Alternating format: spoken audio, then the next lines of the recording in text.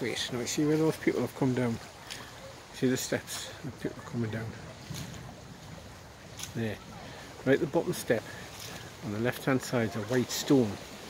And under that white stone, in the dirt on the last step, is a 20 pence piece. It's a very important piece of history. Because this is Bassenthwaite Lake and it was a bass who put the 20 pence there. So remember, last step down those steps. Under that view and you will see a 20 pence. Don't forget it. I'm going to show you the steps.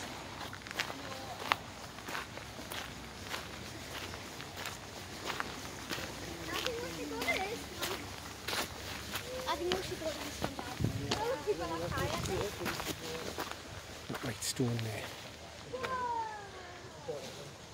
Under that. That's the the 20 pence. Very important.